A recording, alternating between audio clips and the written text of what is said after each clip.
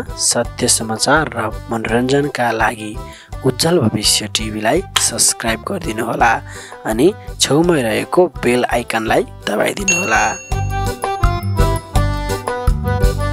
श्रीमानलाई लिएर जाने कि एक्लै जाने? दुईजना जाने भनेको थियो होइन? अब उसलाई गाडीमा बस्न नि गाह्रो हुन्छ नि त। टाढा। अनि अब हेरौँ न। सक्यो भने दुईजना जाने न। छ तिम्रो माया सँगाले राखेछु मुटुको छेउमा छ पातली छौ तिमी पातली छौ तिमी। मेरै लागि जन्मेको हौ तिमी।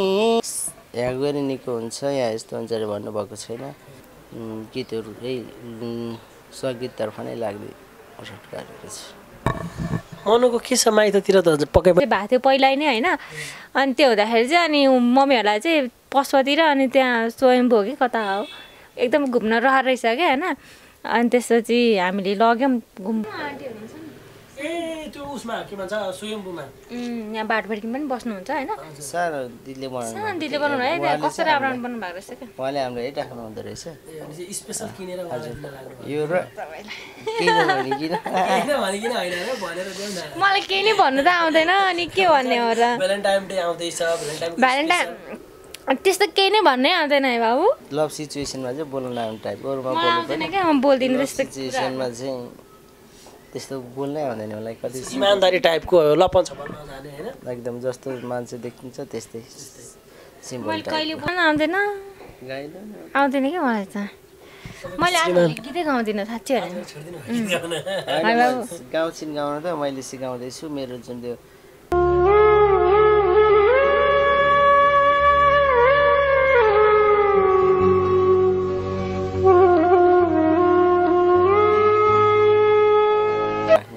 चाहिँ अब हप्ता दस दिनमा म थोरै गाइदिन्छु नि।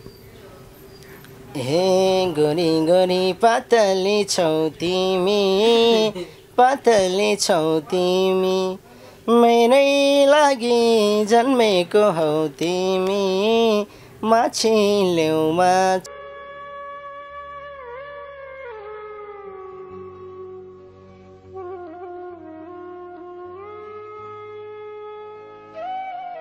कसैको नाम दिलामा लेख्दि लेखिन हजुर हजुरलाई नै केहीमा कम देखिन त्यस्तै टाइपहरूको छ। हजुर मैले लेखेको छु। ल हामी अब अन्त्यमा छौँ दर्शक श्रोताले धेरै जति पनि साथ सपोर्ट सहयोग गर्नुभयो उहाँहरू धेरै सबैजनालाई नेपाली दाजुभाइ दिदीबहिनी बुवा आमालाई एकदम धेरै धेरै धन्यवाद दिन चाहन्छु। राम्रो गीतहरू मेरो त गीतभन्दा अरू गर्ने क्षमता त छैन। यी गीतहरू हजुरहरू सामु ल्याउन सक्यौँ। अनि अस्ति एक हप्ता जति भयो होइन आफ्नै युट्युबबाट अपलोड गरेका छौँ। त्यो पनि एकदमै धेरै माया गरिदिनु होला। राम्रो हाम्रो दाईको युबी मिडिया